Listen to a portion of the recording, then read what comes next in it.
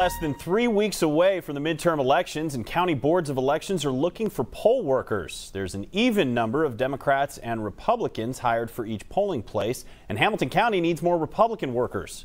Poll workers set up on the Monday night before Election Day and then are at the polling place all day on Election Day.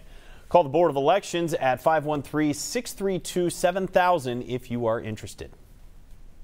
Hi, I'm Courtney Wheaton, and I'm at the Hamilton County Board of Elections. I'm here with the Deputy Director, Alex Linser, and today we are talking all about poll workers.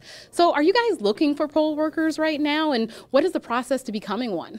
Yeah, we're always looking for poll workers. It takes about 2,500 people to put on an election in Hamilton County.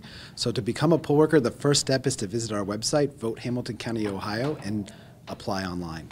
And then talk a little bit about that training. You actually have people in training right now.